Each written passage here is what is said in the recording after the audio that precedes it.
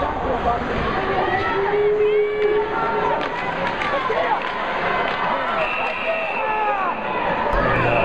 play came up big. Uh, Ryan Carroll was uh, was very solid. Um, you know, it's uh, you know it's it's not easy to you know to, to get back uh, you know at five o'clock in the morning on uh, Sunday and jump you know turn right around and you know and, and, and play again on uh, on Tuesday. We had two.